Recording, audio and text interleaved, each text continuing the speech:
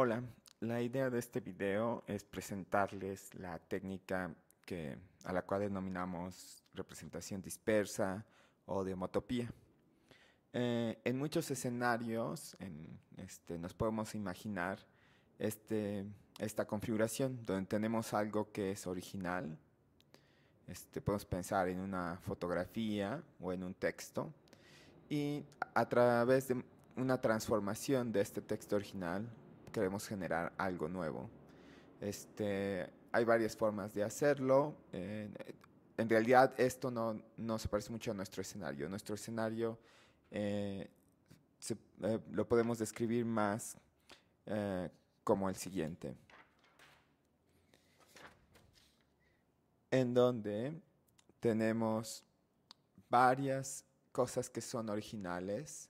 Sabemos de algo que fue transformado, pero no sabemos cuál es, de quién proviene la transformación, de quién, quién es el original de este, de este. Entonces podemos pensar, por ejemplo, que ahora estas son fotografías de individuos y, este, y queremos averiguar esta fotografía que sabemos que se tomó en un instante diferente, eh, de qué individuo es. En este caso estamos marcando aquí con X que la transformación aquí no fue la adecuada, entonces, pero en este caso sí fue, entonces eh, podemos decir que nuestra nueva foto es una transformación de, de la foto del original 2.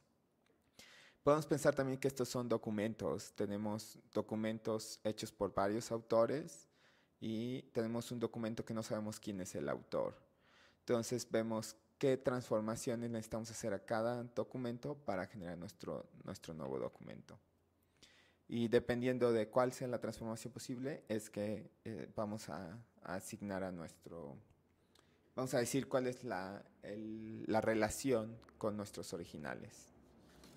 Eh, sin embargo, eh, trabajar con un solo original para un solo individuo no es la mejor opción. podemos pensar en las fotografías si tenemos fotografías de un individuo en diferentes circunstancias, a lo mejor en diferentes iluminaciones, eh, volteando un poco, diferente ángulo, eh, entonces ahora, ahora lo que vamos a hacer es medir las diferentes transformaciones que hacemos sobre esos originales, ese conjunto de originales para un individuo, para generar nuestra nueva, este, nuestro nuevo eh, elemento. Puede ser otra fotografía tomada en otro instante o otro documento en otro instante.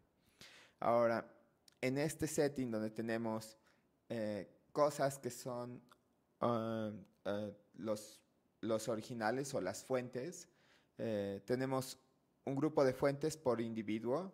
Aquí tenemos los del individuo 1, los del individuo 2 y los del individuo K. Tenemos hasta K individuos y tenemos solamente una, este, una nueva eh, elemento eh, generado de alguno de estos, pero no sabemos cuál fue el que, el que lo generó. En este caso estamos marcando que no fue el individuo 2 eh, ni el individuo K, este, entonces el único que es posible es el individuo 1. Ahora, ¿cómo vamos a calcular qué transformación es posible? eso, eso es básicamente lo que consiste la, la técnica de Homotopy. Eh, podemos imaginarnos que representamos a nuestra representamos a nuestros originales o nuestros documentos fuentes con una matriz A, que vamos a decir una matriz de ejemplos, y vamos a representar a nuestro, eh, eh, a nuestro individuo, a, nuestro nuevo documento, a nuestra, la fotografía tomada en otro instante como una Y y lo que estamos marcando aquí es que tenemos que transformar a los ejemplos a, través de una multiplicación este, con una transformación X, de tal forma que podamos generar a Y. Entonces lo que buscamos es cómo transformar a estos eh, elementos eh, eh, para que generen a nuestro documento Y. vamos a ver un poco con más detalle los elementos. Entonces aquí tenemos a a, la, matriz A. Entonces vamos a decir que cada uno de los individuos de la matriz A, cada uno de nuestros ejemplos, se va a representar por un, este, como una columna de tamaño 1 pero con, con dimensión n. Estos n son los elementos básicos que representan a, a, mi documento, a mi fotografía. Podemos pensar en píxeles, podemos pensar en este, cuentas de palabras o en algunas características eh, que representen a mi documento acá. Entonces vamos a tener, si, eh, si eh, empacamos todos mis, todos mis originales o fuentes, vamos a terminar con una matriz de tamaño n por la cantidad de, de individuos o clases, cas, por la cantidad de, este, de ejemplos que tenemos por cada clase. Entonces, este, a, esta, a este le vamos a llamar k por i. Entonces, a esta, nueva a esta es la matriz. Entonces, básicamente lo que hacemos es, tomamos elementos, tomamos los, las clases y por cada clase tenemos eh, ejemplos y empaquetamos esos ejemplos de manera ordenada. Entonces, primero ir los de la clase 1, luego los de la clase 2, luego la clase 3 y la clase 4, así consecutivamente, hasta que cumplamos todas nuestras clases CAS. Ahora, ya que tenemos esta clase, eh, eh, vamos a ver cómo luce mi este, elemento Y. El elemento Y es, eh, es como un elemento de la clase A, de los que empaquetamos. Es de, de, de dimensión n. Acuérdense que esta dimensión lo que contiene son los elementos básicos de este ejemplo en particular y eh, nada más tiene una columna de tamaño 1. A esto es lo que llamamos. Entonces, con la, base, con la matriz A queremos generar a este elemento Y. Y para eso vamos a aplicarle una transformación que consiste en un vector este, del tipo X. X es, sus dimensiones son diferentes. Vamos a decir que eh, tiene K por I dimensiones, es decir, tiene por cada individuo eh, de mis ejemplos va a tener un, un valor alfa, este, de alfa i hasta alfa i por k por, k por i. Y nada más tiene una dimensión 1. Entonces, en, en, resumen, estos tres elementos producen el siguiente sistema. Eh, tengo mis ejemplos, luego tengo mi, este es el, la transformación y este es el resultado que queremos generar. Ahora, en esta organización, eh, a la conocemos, eh, son los ejemplos. Y la conocemos, es el, el, ejemplo que quiero determinar si, fue, si es una transformación de, esto, de estos ejemplos. Y el que es desconocido es X. No sabemos cuál es la transformación adecuada, de tal forma que usando A's, eh, ejemplos de A, puedo generar a Y. Entonces, eh, para para lograr identificar cuál es la X, la, una, una X que, que, me puede hacer esa transformación, es donde utilizamos la técnica de homotopy o de representación este, dispersa. Lo que hace eh, homotopy es exactamente eso, nos va a encontrar, nos va a encontrar eh, la X que estamos buscando, de tal forma que dado los ejemplos en A, pueda yo generar a, mi ejemplo en Y. Eh, entonces, eh, encontramos a nuestra X que, que, decíamos. Entonces, pero la X no nos dice todavía quién es la clase que está generando a, a, Y. Entonces, para eso vamos a hacer un pequeño truco ya que encontramos a nuestra X, eh, que básicamente es generar K, KX de la siguiente forma.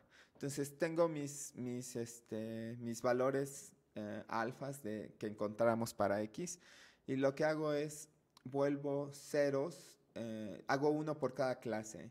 Entonces como sé que los primer, para la primera clase los primeros elementos están eh, primero, entonces eh, mantengo esos elementos y vuelvo cero el resto. Con eso obtengo mi primera xk. Para el segundo elemento hago los primeros elementos de la clase de la primera clase 0, luego los siguientes elementos los conservo y el resto de los elementos son 0. Y así consecutivamente hasta llegar a los K, K hasta la K, donde todos los primeros son, pero los últimos los conservo. Los, para la última clase conservo los valores. Entonces tengo estas, estos nuevos, estas nuevas. Si se dan cuenta, eh, si sumo todos estos, voy a obtener a mi original X. Ahora, este, ¿de qué nos va a servir esto? podemos hacer lo siguiente. Podemos eh, conectar esta X para la clase 1 en mi sistema de ecuaciones y puedo calcular una nueva YK. ¿sí? Entonces, si pongo los primeros, los primeros eh, valores para mi X, los multiplico por A, genero una Y que está exclusivamente generada por la clase 1. ¿sí? Si meto la, la X2, voy a generar una clase generada por X. Voy a generar una Y exclusivamente generada por los elementos de la clase 2 y así consecutivamente. Entonces, de esta forma termino con YKs, cada una generada exclusivamente con los elementos de, un, de uno de los ejemplos. ¿Qué puedo hacer después? Después puedo medir la diferencia entre la Y original, que acuérdense que la conozco, y la Y, cada una de las Y's que se generó. Eh, y puedo medir la distancia entre ambos. Entonces, eh, una vez que sé cuál es la distancia, que, que la, la YK que tenga menor distancia, este, es la Y que corresponde a la clase que queremos. Que queremos. Eh, es la, la Y que, que contribuyó más a la generación de mi Y. Entonces, vamos a decir que esa, esa clase es a la que pertenece mi, mi, mi Y. Ahora, por supuesto, esto es este, se ve claro con imágenes, lo hemos intentado con identificación de autor, pero en el caso de, similaridad textual semántica eh, es, es un poco diferente. Entonces, en este caso tenemos dos frases. Tenemos la frase que vamos a denominar frase original y la frase destino. Y lo que queremos calcular es qué tanto tenemos que transformar mi frase 1 para, frase, para que genere la frase 2. Entre más se tenga que transformar, este, más eh, quiere decir que eh, eh, hay... Si entre más se tenga que transformar, quiere decir que no, no son similares y de esa forma queremos capturar un poco la, la intuición de la tarea de, de similaridad semántica. Ahora, eh, para lograr eso, no, no, la tarea no corresponde, eh, entonces tenemos que usar algo, una, una este, modificación a nuestra tarea. Entonces vamos a tener todavía nuestra frase 1, nuestra frase 2. Cuando la transformación sea directa de frase 1 a frase 2, le vamos a dar el máximo de los scores, ya sea 4 para español o 5 para inglés. Pero eh, para tener una este, fuente de comparación, vamos a incluir otros, este, otras frases que vamos a denominar impostores. Y si la frase 2 eh, se empieza a confundir entre, entre, estas, entre estas otras, porque no, no es una directa transformación, quiere decir que estamos hablando de que el, el score no es perfecto y debe ser en un, en un continuo de 5 a 0. Y este, hay muchas dudas todavía este, de, cómo, eh, de cómo lograr esto. Por ejemplo, ¿cómo vamos a generar a los impostores?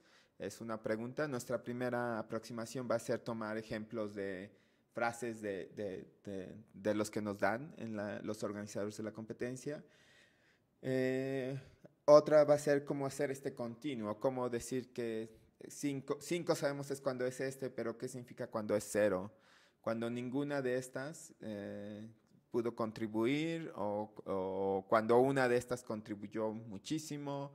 Eh, cuando es este cuando es cero también es algo que no está tan claro y cuando y todo el, lo que está intermedio también este no tenemos tan claro cuándo va a ser la, la, contribución entonces, este, eso va a ser parte de la investigación para poder echar a andar esta estrategia en, en, este, en el esfuerzo de la competencia de Ceneval en este año.